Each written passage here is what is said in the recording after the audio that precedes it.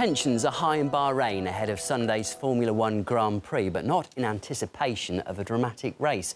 Tens of thousands of pro-reform protesters across the country are furious at the government hosting a major sports event despite the kingdom's poor human rights record.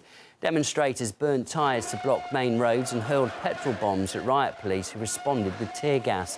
Protesters also demanded the F1 management should cancel the Bahrain stage of the Grand Prix. There's little hope this will happen, though, as the organisers believe the unrest doesn't pose a threat to the event's security. The human rights activist Jihan Kazarouni explains the opposition is almost powerless to influence the situation in the kingdom.